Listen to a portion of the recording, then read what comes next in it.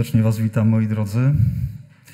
Próbowałem w głowie sobie gdzieś tam podliczać, kiedy byłem na Waszym zjeździe po raz ostatni i wychodzi mi, że 7 lat temu. E, czas leci szybko, stęskniłem się trochę za Wami. Nie chcę powiedzieć, że za, kołaczykami, e, e, ale na pewno za zupą pomidorową z muszelkami. Ostatnio się dowiedziałem, dlaczego muszelki, a nie makaron. Bardzo praktyczne podejście, nie wiem, czy wszyscy wiecie. Żeby sobie nie pochlapać garniturów i sukienek przy jedzeniu tej pomidorówki. A tak to jest, że jak się je zupę z makaronem, no to zawsze się jakoś tam zawinie, tak? Ja, ja niestety mam takiego pecha, że prawie co druga agapa gdzieś albo krawat, albo koszula, albo garnitur, no mniejsza z tym. E, Mam dla Was e, kilka pozdrowień e, od e, pastora Piotra Beliny i pastora Piotra Gołyszyskiego, moich współpracowników z zarządu Kościoła. Gorąco, serdecznie Was pozdrawiają. E, Także mam takie braterskie i siostrzane pozdrowienia ze zboru, gdzie służyłem w zeszłą sobotę, konkretnie ze zboru w Olsztynie. Nie omieszkałem się pochwalić, że będę w Wiśle na zjeździe okręgowym. Oni serdecznie, naprawdę serdecznie Was pozdrawiają. No i na końcu, choć nie chcę powiedzieć, że to najmniej ważne pozdrowienia od mojej żony Ewy, e, która też myślami jest e, tutaj z nami. Gorąco, gorąco Was pozdrawiam. kiedy słuchałem występów e, dzieci przed chwilą, tych młodszych i potem tych starszych dziewczyn, to pomyślałem sobie, że trzeba zrobić jakąś reformę w organizacji nabożeństwa. Nie wiem, czy macie podobne wrażenia, ale ja sobie myślę tak, że jak wychodzi mówca po takich występach, to może być już tylko gorzej. I myślę, że najpierw musi być kazanie, a potem mogą być występy.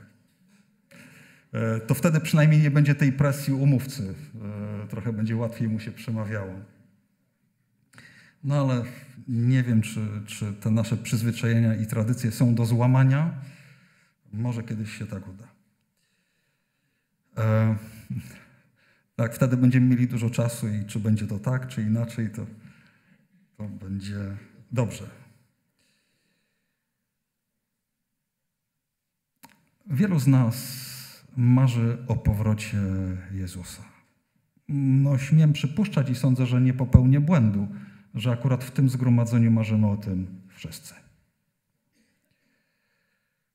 Ja też marzę i mam wiele powodów, e, dla których marzę. Jeden z nich mm, to taki, że, że mam niepełnosprawnego syna, wielu z Was o tym wie. E, jedną z tych niepełnosprawności Mateusza jest to, że nie potrafi mówić. Mamy problem z porozumiewaniem się z Mateuszem, ale jakoś tam sobie rodzimy w inny sposób, mamy jakieś swoje formy komunikacji. Niemniej jednak mowa tutaj nie działa. I tak sobie myślę, jak przyjdzie Pan Jezus, no to wreszcie z Mateuszem porozmawiamy. I powiem Wam, że ekscytuje mnie to, ale przyznam też szczerze przed Wami, że mam pewną obawę w związku z tym.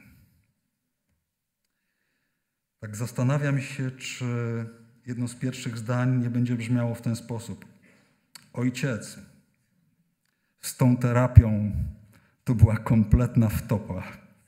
Czy nie widzieliście, że się tym irytowałem? Albo może tak, czy wy myśleliście, że jak gadacie między sobą przy mnie, to ja nic nie rozumiem? No, różne mogą być te rozmowy, tak czy inaczej, nawet jak będę e, e, zakłopotany takim zdaniem, to i tak będę się cieszył. Każdy z nas ma jakieś powody. Każdy z nas ma jakieś powody, żeby marzyć o powtórnym przyjściu Jezusa. I tak jak też to było już wyrażone mm, przed chwilą, no chcielibyśmy, żeby to było jak najszybciej. Spróbujmy spersonalizować naszą planetę, naszą Ziemię. E, niektórzy mówią, że naszą matkę Ziemię, ale ja wolę powiedzieć, że mamy Ojca, który stworzył tę Ziemię. I gdyby ona mogła, gdyby potrafiła mówić, co by nam dzisiaj, w tej chwili powiedziała? E, mogą się pojawić różne koncepcje, ale ja spróbuję włożyć w usta naszej planety wypowiedź zaczerpniętą z listu do Rzymian. Bo stworzenie z tęsknotą oczekuje objawienia synów Bożych. Stworzenie z tęsknotą oczekuje objawienia synów Bożych. Myślę, że akurat w tym gronie dobrze wiemy, że jednym z powodów powrotu Pana Jezusa i tej zdecydowanej Bożej ingerencji w historię świata jest to, że nasza planeta jest coraz bardziej zniszczona. E, I ta e, ożywiona materia, i ta nieożywiona. Mamy z tym coraz więcej problemów jako mieszkańcy Ziemi. E, tak, sytuacja na tym świecie daleka jest od tego dobrostanu, który przewidywali futurolodzy czy nawet marzyciele jeszcze kilkadziesiąt lat temu.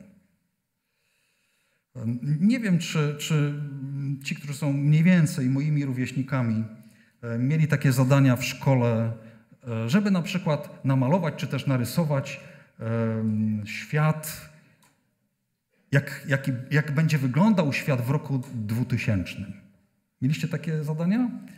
Ja jako taki kilkulatek, dziesięciolatek e, miałem takie zadanie narysuj czy namaluj, jak sobie wyobrażasz świat w roku 2000.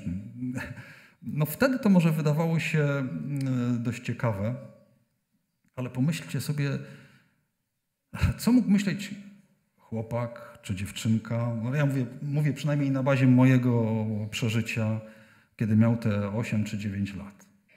W roku 2000 e, miałem mieć lat 37. Ludzie, to było nie do wyobrażenia. Ja kiedyś będę miał 37 lat. No ale coś tam narysowałem. I, i, I, kiedy rysowałem czy malowałem, to wyglądało to mniej więcej w ten sposób, że dużo takich powietrznych statków, takich, nie wiem, które mogą też e, pokonywać tę przestrzeń kosmiczną. Ludzie szczęśliwi, zadowoleni. Oczywiście nie ma chorób, nie ma śmierci. Tak te moje rysuneczki wyglądały. Dzisiaj jesteśmy w roku 2024. 37 lat już dawno skończyła. Owszem, jakieś tam statki kosmiczne są, ale wtedy już też były. Ale ludzie nie wyglądają na bardziej szczęśliwych. Przynajmniej to jest y, moja perspektywa. Nie wyglądają na bardziej zdrowych. Owszem, w naszej części świata myślę, że się ze mną zgodzicie, wyglądają na bardziej zamożnych. To tak, ta materialna strona naszego życia się poprawiła. Ale czy rzeczywiście czujemy się lepiej? Ja w gruncie rzeczy, bazując na tych moich dziecięcych marzeniach, jestem pod tym względem bardzo rozczarowany. I niespecjalnie dlatego, że nie ma jakichś pojazdów dziwnych kosmicznych, chociaż już tam są ponoć jakieś drony, które testuje się jako taksówki. E, ale no właśnie dlatego, że nie widzę szczęścia wokoło. Że nie widzę wokoło szczęścia. Ludzie bardziej chyba są smutni niż zadowoleni. E, a jeśli są zadowoleni, to chyba w zdecydowanej większości przypadków dlatego, że akurat doświadczają jakiejś uciechy. Nie jakiejś głębokiej radości, która wynika z wewnętrznego e, spokoju, tylko no, gdzieś tam, wiecie, ten smutek się próbuje jakoś jakoś zabić, e, jakoś o nim zapomnieć. E, a ten świat daje coraz więcej możliwości, no uciech, jakkolwiek byśmy je rozumieli. Każdy ma e, swoje jakieś upodobania pod tym względem. Jedne rzeczy cieszą innych, inne innych. Nie chcę za dużo mówić o zmianach klimatycznych, katastrofach czy konfliktach. Wspomnę tylko tak hasłowo, hasłowo dobrze o tych rzeczach wiecie. Agresja rosyjska na Ukrainę, wojna w strefie gazy, rosnące napięcie wokół Tajwanu, rosnące napięcia na Bałkanach, nieopanowana, nieopanowana sytuacja w wielu regionach Afryki i, i jeszcze w wielu innych miejscach. Myślę, że to wystarczy. Nie będę mówić o, o chorobach, o pandemiach, bo nie tak dawno bardzo mocno przechodziliśmy coś, co chyba do dzisiaj, w, przynajmniej w niektórych naszych kręgach, jeszcze wzbudza emocje. Zostawmy, nie komentujmy tego może. E, ale myślę i pozwólcie, że na tej rzeczy skoncentruję się troszeczkę mocniej. Myślę, że wszyscy zgodzimy się, iż zdewaluowała się ludzka moralność. E, nawet w historii, e, to taka dygresja, zauważamy, że niektóre imperia upadały, poprzedzając ten upadek właśnie upadkiem moralności. Najpierw upadała moralność, potem upadało państwo. E, kryzys rodziny, małżeństwa, rozwody, przemoc domowa. Seksualna swoboda dawno przekroczyła granice zdrowego rozsądku, e, nie mówiąc już o tym, że dawno przekroczyła zasady czy pewne granice, które określa Pismo Święte. I myślę, że bynajmniej znów mówię o swoim odczuciu, że pewnie czujemy się pod tym względem nieco zakłopotani, a z pewnością Spotkaliśmy się z takimi argumentami, że jesteśmy już może pod tym względem nieco nie dzisiejsi, żeby nie powiedzieć mocniej. E, Co powiedzieć o nastolatkach, którzy parę dni temu w Sosnowcu skatowali na śmierć młodego mężczyznę tylko dlatego, że ośmielił się ująć za napastowaną, inną napastowaną osobą. I to dramat powiększa to, że działo się to przy setkach, tysiącach innych ludzi, bo to była wielka, masowa impreza. I nie było żadnej reakcji, żadnej pomocy. Bezwzględność i okrucieństwo jest promowane w produkcjach filmowych, grach, a potem przenosi się na ulicę. E, dlatego w jakimś sensie nie, nie powinniśmy się dziwić.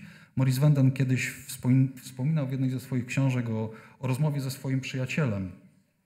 E, przyjacielem, który niespecjalnie był wierzącym człowiekiem i mówili o przyszłości świata, jak, jak ona ma wyglądać. No i, i Wenden pyta się, no słuchaj, no jak sobie wyobrażasz to, co będzie w kolejnych latach? No nie jest dobrze przecież.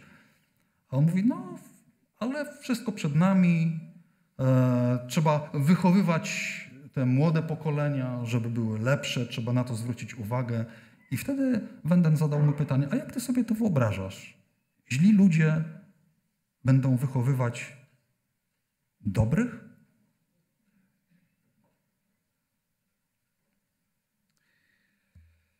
Cóż mamy myśleć,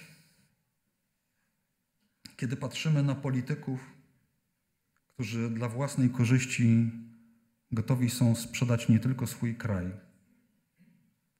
ale nawet własną godność. Zresztą być może chcielibyśmy zapytać, a czy w ogóle niektórzy z nich mają jeszcze coś takiego jak godność? myślę, że możemy mieć bardzo poważne powody do tego, żeby wątpić. I znów nie chcę mm, za dużo, chciałbym skończyć, nie chciałbym za dużo na ten temat mówić, bo wpadniemy w taką nutkę pesymizmu, a w końcu, kiedy mówimy o przyjściu Jezusa, to, to jest to wydarzenie, które na pewno jest czymś absolutnie niezwykłym i radosnym, będzie takim. E, ale myślę, że to idealnie zgadza się z tym, co apostoł Paweł napisał do Tymoteusza w swoim drugim liście w trzecim rozdziale i tam te pierwsze wersety. Sądzę, że dobrze to pamiętacie. E, a to wiedz, że w dniach ostatecznych nastaną trudne czasy. Ludzie bowiem będą samolubni, chciwi, chełpliwi, pyszni, bluźnierczy, rodzicom nieposłuszni, niewdzięczni, bezbożni, bez serca, nieprzejednani, przewrotni, niepowściągliwi, okrutni, niemiłujący tego, co dobre – zdradzieccy, zuchwali, nadęci, miłujący więcej rozkosze, rozkosze niż Boga, którzy przybierają pozór pobożności, podczas gdy ich życie jest zaprzeczeniem jej mocy, również tych się wystrzegaj. E, ponoć starożytni, chcąc kogoś przekląć, mówili, obyś żył w ciekawych czasach. No i w jakimś sensie, choć niewątpliwie te czasy są ciekawe, myślę, że tak trochę się chyba czujemy. Mm, mieszkam na ulicy Foksal 8 w Warszawie. E, zdarza się, że wcześniej rano, mm, szczególnie z soboty na niedzielę, kiedy, kiedy tam gdzieś o piątej wychodzę na jakiś pociąg, udając się gdzieś w podróż, i idę ulicą Fox, ale Chmielną, jeśli ktokolwiek z, odrobinę z Was zna Warszawę, e, to powiem Wam, że idę z duszą na ramieniu. E, kiedy widzę mnóstwo ludzi półprzytomnych albo kompletnie nieprzytomnych, niekoniecznie zdając sobie sprawę z tego, czy to alkohol, czy inne środki i kompletnie nie wiedząc, jaka będzie reakcja. Można się przypatrzeć różnym, różnym zachowaniom wtedy. To jest pewna codzienność tego wielkiego miasta. E, tak to jest. Mówi ten, który świadczy o tym, tak przyjdę wkrótce. Amen. Przyjdź, Panie Jezu. Amen. Nic dziwnego, że uduchowieni świadkowie tej obietnicy powtarzają to. Amen. Przyjdź, Panie Jezu, niech tak się stanie, niech to będzie jak najszybciej. Jest pewna naprawdę absolutnie niezwykle dobra nowina, jeśli chodzi o przyjście Jezusa. Chociaż tak jak jestem przekonany, co już wyraziłem, że my jesteśmy bardzo stęsknieni za, za tym momentem, za tym faktem, to jeśli ktokolwiek pragnie powtórnego przyjścia Jezusa Chrystusa, to możemy być pewni, że Jezus pragnie tego nieporównanie bardziej niż wszyscy ludzie razem wzięci. On czeka na ten moment objawienia synów Bożych z wielu powodów, ale także z tego, a może to jest ten najważniejszy, że wreszcie będzie mógł być z tymi, których tak ukochał, za którymi tęskni w sposób niewyobrażalny. Wreszcie będzie mógł ich objąć, przytulić. Tylko no ta jedna wątpliwość i też za cytatem ze Słowa Bożego, czy Syn Człowieczy znajdzie wiarę na ziemi, gdy przyjdzie. I dla nas, i dla nas jest to kluczowe pytanie. Pozwólcie, że opowiem Wam o pewnym wydarzeniu sprzed kilku dni. E, kibice sportowi pewnie wiedzą, że w ostatnich dniach odbywały się Mistrzostwa Europy w lekkiej atletyce w Rzymie. Jedna z pierwszych konkurencji to był chód kobiet na 20 kilometrów. Dość wyczerpująca konkurencja. Wbrew pozorom ten chód nie wygląda jak nasz typowy spacer. Być może widzieliście chodziarzy. Ich, ich konkurencja tak na pierwszy rzut oka wygląda dość zabawnie. Ale to jest ciężka praca. Hiszpańska sportsmenka Laura Garcia Caro przegrała brązowy medal Mistrzostw Europy w lekkiej atletyce dosłownie na te 20 kilometrów, dosłownie na ostatnich kilku metrach. Jeśli nie widzieliście lub nie czytaliście o tym, pozwólcie troszeczkę rozwinę to. Na ostatniej prostej na stadionie, będąc pewnym tego, że zajmie trzecie miejsce i zdobędzie brązowy medal, e, owinęła się hiszpańską flagą, e, zwolniła tempo, uśmiechała się, rozglądała po trybunach i już myślała o, o tej fecie, o wchodzeniu na podium, o tej uroczystości. A nie widziała, że w dużym tempie zbliża się do niej Ludmiła Olianowska, ukraińska chodziarka. Kiedy dosłownie, dosłownie na ostatnich kilku metrach przed tą szachownicą na mecie zobaczyła, że Ukrainka ją wyprzedza, próbowała jeszcze zareagować ale było już za późno. Różnica to było dosłownie kilkadziesiąt centymetrów. Powiedziała potem dziennikarzom: Jestem dość rozczarowana. Na ostatnich dziesięciu metrach myślałam, że już to mam, a jednak nie. Teraz muszę przyswoić to, co się stało i uleczyć moje serce. Ja wiem, że dla sportowca jest to duże przeżycie. E, wiele miesięcy przygotowań, e, to staranie się, żeby szczyt formy wypadł w odpowiednim czasie, a potem taka przegrana. E, w pierwszym liście do Koryntian w rozdziale 9 apostoł Paweł napisał tak – czy nie wiecie, że zawodnicy na stadionie wszyscy biegną, a tylko jeden zdobywa nagrodę? Tak biegnijcie, abyście nagrodę zdobyli. Tak biegnijcie, abyście nagrodę zdobyli. Oczywiście ja tak sobie wyobrażam, jeśli te tysiące czy miliony zbawionych no, będą kończyć ten bieg, to medali starczy dla wszystkich. Mm, ale sądzę też, że rozumiecie, na czym polega to porównanie, którego użył Paweł. Ale zdobędźcie tę nagrodę. Nie rozpraszajcie się niepotrzebnymi rzeczami. Żeby nie okazało się przypadkiem, że być może na ostatnich metrach, na ostatnich metrach zabraknie w życiu czegoś kluczowego co sprawi, że ten duchowy sukces, który wydawał się tuż, tuż, nagle odpłynie bezpowrotnie w nicość. Jakie rzeczy na tej ostatniej duchowej prostej mogą zabrać nam te niebiańskie medale? Niektóre rzeczy to będą truizmy, ale może warto sobie przynajmniej je powtórzyć. Zaświadczenie, materializm, troska o byt. E, wspomniałem, że żyjemy w tej części świata, która nie powinna narzekać na dobrobyt. I tak jak tutaj mm, e, brat Wrzecionko się modlił też, że mamy tyle, żeby się dzielić. Ja wiem, że zdarzają się wśród nas ludzie w wielkiej biedzie, chociaż żyjemy w, w tej najbogatszej części świata e, i tym ludziom trzeba pomagać, ale ja mówię o, o pewnej tendencji. Czasami jednak możemy odnieść wrażenie, że to zabieganie o materialne sprawy jest tym większe, im bardziej jest nam dobrze. E, jakbyśmy chcieli sobie zapewnić jeszcze bardziej coś, co już w zasadzie mamy. E, ale może to będzie lekceważenie i pielęgnowanie takich małych grzeszków. Nieprawda, że taka nasza ludzka natura mówi, a jej, to nie było nic wielkiego, tak?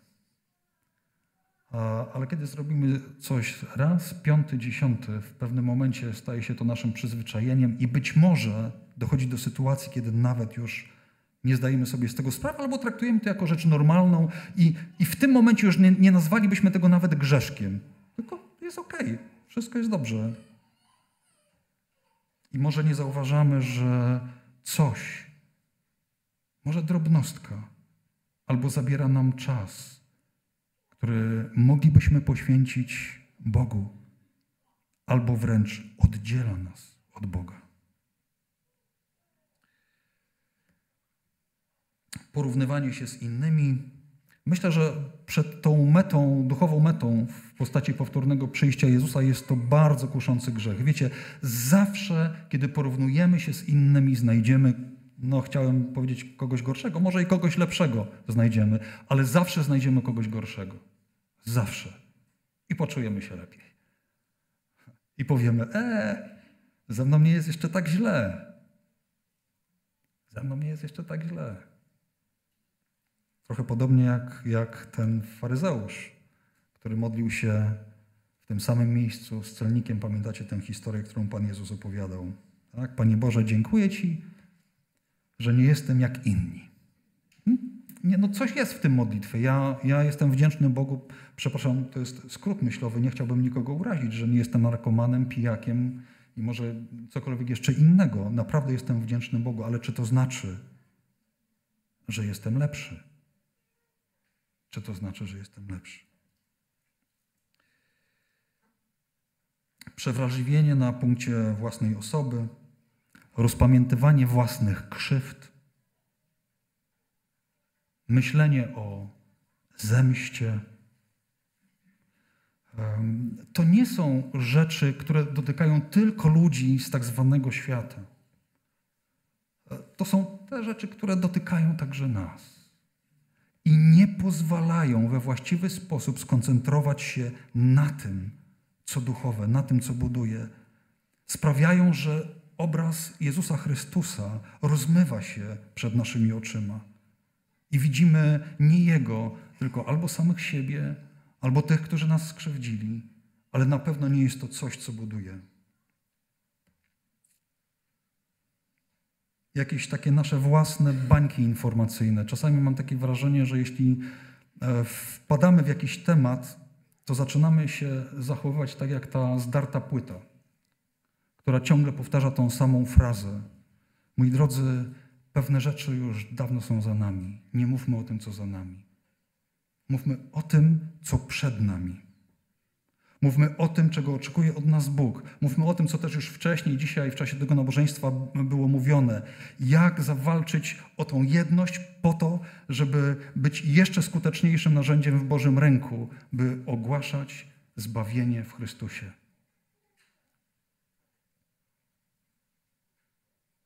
Są różne ważne i ciekawe rzeczy, ale może powiem w ten sposób. Kiedyś Przed laty, mm, czasami to opowiadam, być może słyszeliście to już z moich ust, mój przyjaciel, wiedząc, że, że jadę z dość trudną misją do pewnego miejsca, napisał mi SMS-a. Zresztą ciekawe było to, że to był jeden z pierwszych SMS-ów, jaki w ogóle otrzymałem. Był to rok równo 2000, to, była, to był pierwszy mój e, telefon komórkowy, jeszcze z takim wąziutkim, malutkim wyświetlaczem. E, dwa wiersze mieściły się tylko tekstu, ale to wystarczyło, żebym czytając ten, e, ten SMS zrozumiał, jaki był przekaz. Najważniejszą rzeczą jest, żeby rzeczy najważniejsze pozostały najważniejszymi. A więc jest dużo ciekawych rzeczy, powiedziałbym nawet tych paraduchowych, ale często zabierają one nam czas, który możemy poświęcić na rzeczy najważniejsze.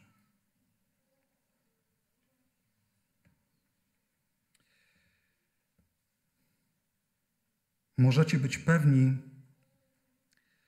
że czysta i nieposzlakowana religia nie jest religią sensacyjną.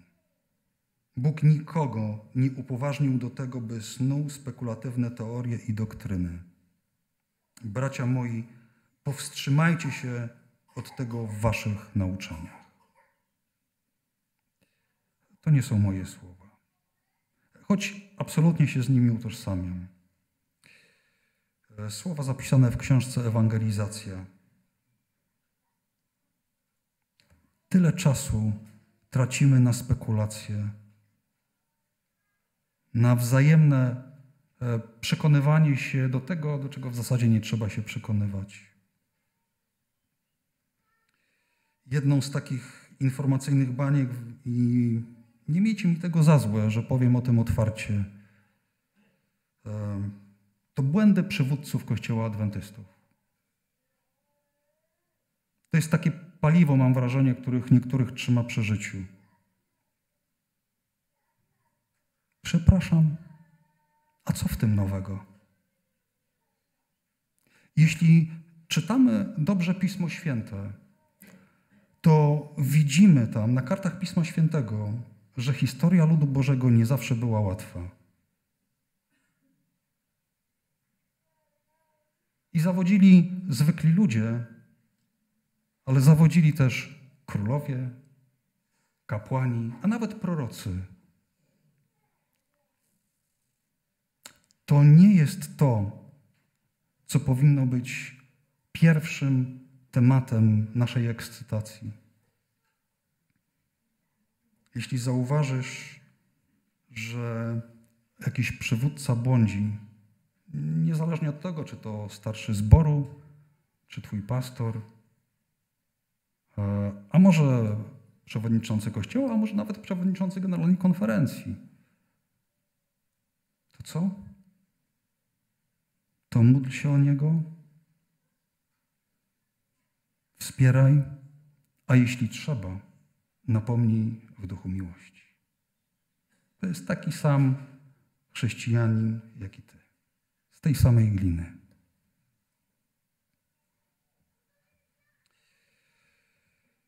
Kościół słaby i ułomny, potrzebujący karcenia, ostrzeżenia i rady, jest jedynym obiektem na ziemi, który Pan darzy swymi największymi względami.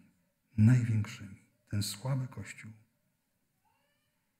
Kościół obdarzony sprawiedliwością Chrystusa jest Jego depozytariuszem, w którym ma się objawić w pełni i do końca bogactwo Jego miłosierdzia, łaski i miłości. Chciałbym jeszcze odnieść się do polityki. Tam w pewnym momencie był taki wątek. Jeśli śledzicie cokolwiek e, wydarzenia polityczne, czy w naszym kraju, czy w innych, to z pewnością zauważyliście, że, że w wielu przypadkach mamy do czynienia z taką sytuacją, że partie polityczne mają swój, jak to się mówi, żelazny elektorat. Tak? i cokolwiek by się wydarzyło, to i tak niewiele to zmieni. Tak? E, przepraszam, tu nie ma w tym, co powiem, jakiejś kryptoreklamy. Odwołam się do pewnej rzeczywistości. E, są dwie silne partie w naszym kraju: PO i PiS. I obydwie mają ten żelazny elektorat w postaci tam dwudziestu kilku, trzydziestu kilku procent. I jak pewnie zauważyliście, od wielu lat się to nie zmienia.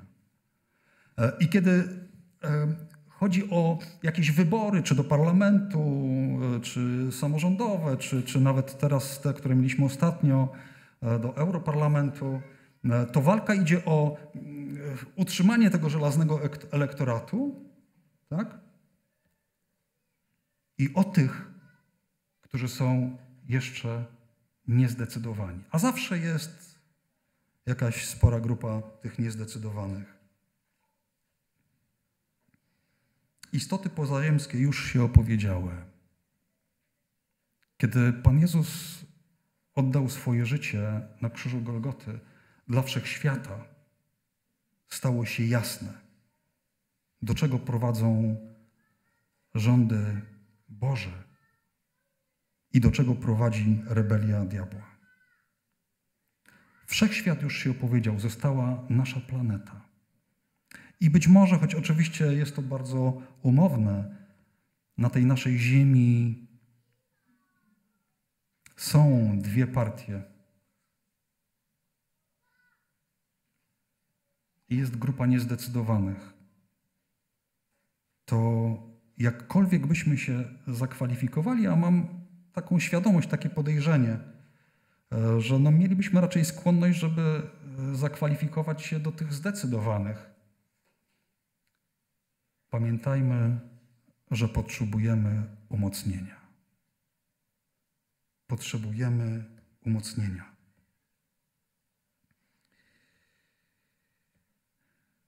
Najważniejsze przesłanie, największe przesłanie, któremu powinniśmy poświęcać jak najwięcej czasu, to Chrystus Zbawiciel Chrystus pośrednik, Chrystus sędzia, Chrystus zwycięzca i w końcu Chrystus król. On to dla nas, tego, który nie znał grzechu, uczynił grzechem, abyśmy w nim stali się sprawiedliwością Bożą.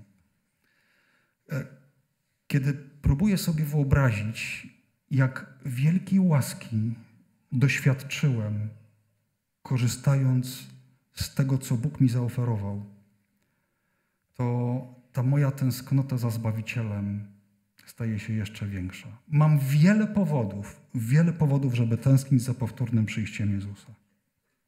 O jednym z nich Wam powiedziałem dzisiaj. Ale największy, który nieustannie gdzieś tam te moje myśli unosi do góry, to jest ten. Chciałbym spotkać tego, który we mnie, w słabym człowieku, ujrzał kogoś, za kogo warto oddać życie. Ten, który we mnie złożył swoje nadzieje. Chciałbym zobaczyć Chrystusa twarzą w twarz. Chciałbym osobiście podziękować Mu za to, co dla mnie uczynił. To jest największy motor, największa motywacja mojego pragnienia zobaczenia się z Nim. I to jest też największa motywacja, najgłębsza motywacja, która sprawia, że chcę o Nim opowiadać tutaj, zanim przyjdzie. Że mam tak wspaniałego Zbawiciela, tak wspaniałego Pana. W liście do Hebrajczyków napisane jest w 10 rozdziale, 35 wierszu. W zasadzie tam jest taki apel: Nie porzucajcie więc ufności waszej, która ma wielką zapłatę. E, w jednym z tłumaczeń, innym niż Biblia Warszawska, konkretnie w Biblii Warszawsko-Praskiej jest napisane: Nie pozwólcie więc wydrzeć sobie nadziei. Wiecie, jest wiele rzeczy, wiele rzeczy na tym świecie, ba, nawet wiele rzeczy gdzieś tam w tym naszym adwentowym gronie E, które rozmywają nasze, no, naszą nadzieję, które sprawiają, że zaczynamy ekscytować się czymś, co nie jest tego warte, co nie jest tego warte. i zapominamy o Chrystusie. E, przypomnę jeszcze tylko tę znaną historię z Ewangelii Łukasza. Myślę o Zacheuszu. Ellen White tak ciekawie napisała o tym człowieku. Zacheusz zaczynał rozumieć zagrożenie płynące z grzesznego życia i jak trudno jest temu, kto chce porzucić drogę zła. Ciężko mu było znieść niezrozumienie, podejrzliwość i brak zaufania, z którymi spotykał się w swoim postanowieniu naprawienia popełnionych błędów. Przełożony celników pragnął spojrzeć w twarz tego, który obudził w jego sercu nadzieję. Ten człowiek nie potrzebował uzdrowienia, bo był zdrowy. Nie potrzebował, nie potrzebował pieniędzy. Był jednym z najbogatszych ludzi w tamtym rejonie.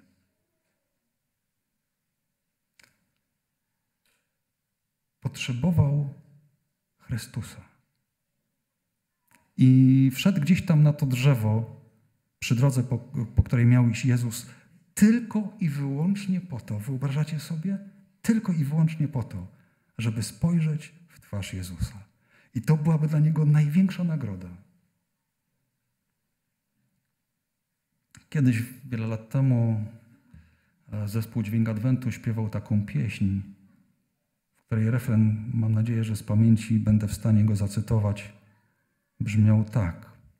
Choćby nieba nigdy nikt nie przyrzekł mi, to i tak z mym Panem być chcę.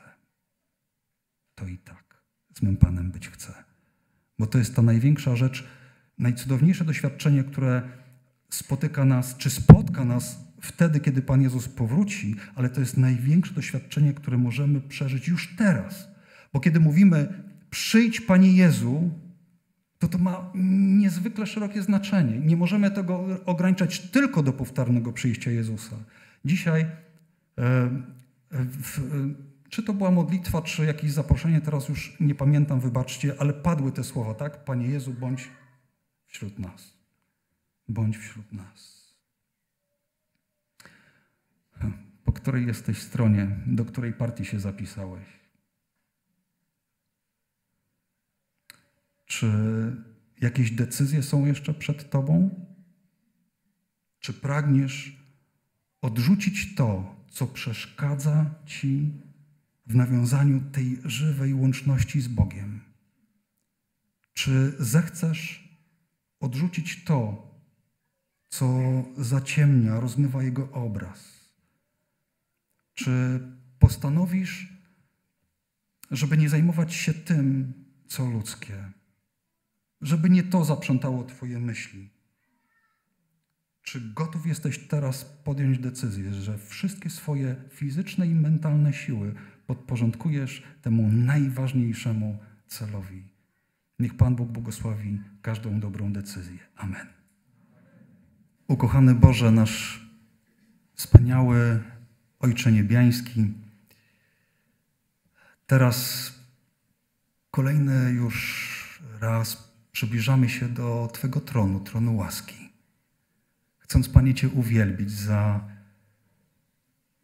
za to niesamowite doświadczenie, które jest udziałem każdego z nas, za to przeżycie bliskich relacji z Tobą, za to, że przygarnąłeś nas, że choć jesteśmy słabymi ludźmi, zauważyłeś każdym z nas niesamowity skarb i że Byłeś przekonany o tym, że przed nami wspaniała przyszłość. I Panie, to Ty tę przyszłość zagwarantowałeś. Chcemy Cię uwielbić za Jezusa Chrystusa, naszego Zbawiciela. Za to, że z własnej woli, przepełniony miłością do nas, oddał swoje życie. Ale za to, że dziś ciągle, jako nasz pośrednik, wstawia się u Ciebie i, i reprezentuje nas przed Twoim tronem. I Panie, właśnie w imieniu Jezusa przybliżamy się do Ciebie i rozumiemy, że ten zaszczyt, ta nasza godność wynika z tego, że On przyozdobił nas swoją szatą sprawiedliwości. A jeśli tak jest, Panie, to możemy mieć w sercu pokój i radość. Być może w, jest coś w naszym życiu, co powinno ulec zmianie. Ty znasz każdego z nas, nasze serca, nasze wnętrze. Drogi Boże, daj, abyśmy w takiej skrusze przed Tobą wyznali to, co jest w naszym życiu i abyśmy od tej pory, doświadczając cudownego zbawienia, koncentrowali się na tym, co ważne. Daj Panie, abyśmy w mocy Ducha Świętego dokonywali dobrych wyborów i byli Twoimi wspaniałymi narzędziami w głoszeniu Ewangelii. Błogosław Panie każdego z nas, ale szczególnie prosimy o tych, którzy być może przechodzą jakiś kryzys, czy duchowy, czy doczesny, czy zdrowotny, czy rodzinny, jakikolwiek. Panie, bądź bliski tym osobom, pomagaj, wzmacniaj, a jeśli taka Twoja wola, użyj nas jako swe narzędzia, aby tym ludziom pomóc. A teraz, Panie, oddajemy się w Twoje ręce także na te cudowne, pozostałe godziny sobotniego święta. W imieniu Jezusa. Amen. Kochani, mam nadzieję, że to nie będzie takim zwyczajem na zjeździe w okręgu południowym, że co zjazd będziemy żegnać jakiegoś kolegę. Dorotko, Marcinie, chcemy Wam bardzo serdecznie podziękować za Waszą służbę. I myślę, że przyznacie, że będzie nie tylko okręgowi południowemu Was brakować, ale w zarządzie, jak i również wśród kolegów też będzie nam Was brakować. Cała radość w tym, że nie wyjeżdżacie nie wiadomo gdzie i jak daleko, ale piękne jest to, że możecie dalej służyć na Bożej Niniwie dla Pana Jezusa. Jako, że przed Wami jest nowe wyzwanie, nowy teren, młodsi, młodsi wyznawcy. I dlatego z jednej strony się cieszymy, bo Marcinie e, zauważyłem, jak i również Twoją Dorotką, zauważyłem u Was niesamowity rozwój w Waszej służbie, Waszej misji. I było wielkim moim przywilejem po prostu e, doświadczać rozwoju duchowego, ale również tego kunsztu pastorskiego. Także chcemy Wam życzyć to, co najpiękniejsze, to, co najlepsze. I kiedy przyjdą czasami trudności, to tak jak robiliście to do tej pory, wierzę, że będziecie szukać Pana Jezusa, Jego pomocy, Jego mądrości i Jego wsparcia. Ale jakby coś się wydarzyło, macie gdzie wrócić. Macie gdzie wrócić. Gdyby tam wam było źle, macie gdzie wrócić.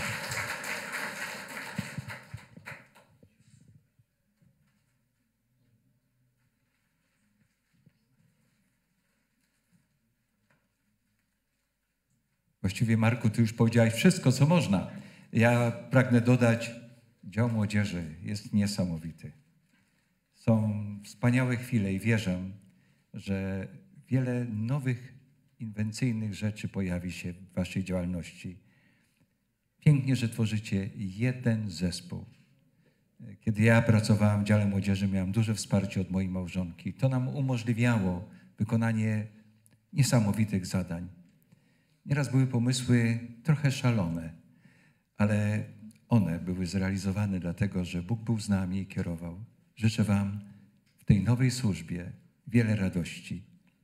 Moi drodzy, mam tutaj. Oj, y, mam tutaj dla. Tak, ja wiem, wiem. Marcinie, chciałbym życzyć wiele, wiele Bożych błogosławieństw. I tutaj taki misiu, nie wiem, czy będziesz go chciał wziąć? Tak. może później. Coś widzę bez również życzę. Wiele Bożych błogosławieństw. Ja również myślę, że z Dorotką chcemy serdecznie bardzo podziękować za te niecałe pięć lat spędzonych tutaj. Myślę, że mogliśmy się dużo nauczyć. Dziękujemy za fantastycznych współpracowników. Poznaliśmy wspaniałych chrześcijan, od których mogliśmy się uczyć, z którymi mogliśmy współpracować i na pewno e, ten czas głęboko zapadnie nam w pamięci e, i chcemy po prostu Bogu podziękować za, za te pięć lat. Chwała Bogu. Może pomodlimy się. Bardzo proszę o powstanie do modlitwy. Kochany nasz egoisty Ojcze, tak bardzo jesteśmy Tobie wdzięczni za Twoją miłość, za Twoje powołanie i za służbę naszą, że w Twoim kościele jest miejsce dla każdego. Dziękuję Ci za służbę Marcina i Dorotki. Dziękuję Ci, Panie, za wspaniały okręg południowy, za wspaniałe zbory skoczów i cieszyn, gdzie Marcin w tych zborach mógł, Boże, doświadczać Twojej opieki, Twojego prowadzenia, ale przede wszystkim rozwoju. Dziękuję Ci również tutaj za Wisłę i za Ustroń, bo przecież i tutaj służył, i tutaj działał, i tutaj miał i przeżywał piękne chwile służbie dla Ciebie. Proszę o szczególne błogosławieństwo teraz, kiedy mają nowe zadania i nowe obowiązki. I Panie, spraw, aby ten rozwój mógł dalej być kontynuowany i nade wszystko, aby Twój święty duch w szczególny sposób mógł ich prowadzić, zmieniać, przekształcać na Twoje piękno, Panie, na Twoją chwałę, aby dalej mogli służyć dla Kościoła i dla Ciebie i dla drugiego człowieka. O co proszę i dziękuję przez imię Pana Jezusa.